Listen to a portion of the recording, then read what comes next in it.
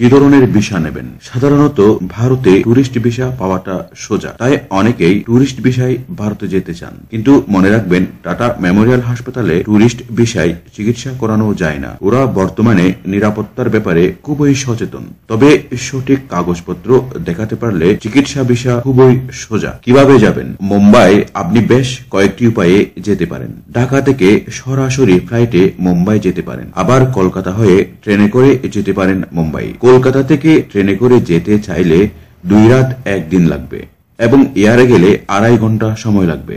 বিমানে অথবা air India এক্সপ্রেসে জনপ্রতি নয় হাজার টাকার মতো খরচ হতে পারে।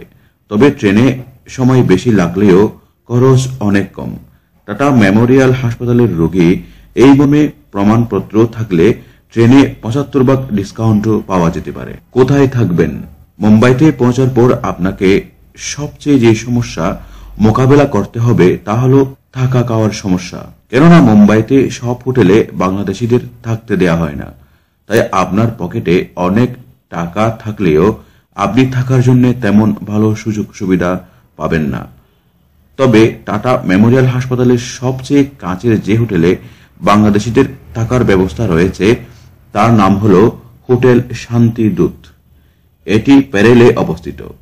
এজন্য আপনাকে দৈনিক গুনতে হবে তেরোশো রুপি করে। এছাড়া টাটা মেমোরিয়াল হাসপাতালের কাছে পেরেলেই কেজিএন নামক প্রতিষ্ঠান শুধুমাত্র বাংলাদেশিদের দৈনিক ছয়শো রুপি হারে এক রুম ভাড়া দিয়ে থাকে। রুমেই রান্নাবান্নার সকল জিনিসপত্রের ব্যবস্থা থাকে। তাই সব দিক বিবেচনায় কেজিএন এর ভাড়া অনেকটাই কম এবং সুযোগ সুবিধা অনেক বেশি। তাই এখানে থাকাটাই মঙ্গল। হাসপাতালে রোগী কীভাবে রেজিস্ট্রেশন করবেন? টাটা মেমোরিয়াল হাসপাতালের কার্যক্রম সকাল নয়টায় শুরু হয়। নতুন রোগীদের প্রথমেই রেজিস্ট্রেশন করতে হয়। এই জন্য বাংলাদেশিদের প্রথমে নির্দিষ্ট ফর্ম পূরণ করে ওদের সিকিউরিটি অফিসারের কাছে চিকিৎসা বিষয়ের প্রয়োজনীয় প্রমাণাদি সহ জমা দিতে হয়। এবং টাটা মেমোরিয়াল হাসপাতালে রেজিস্ট্রেশনের জন্য দুই লক্ষ রুপি জামানত হিসেবে জমা দিতে হয়।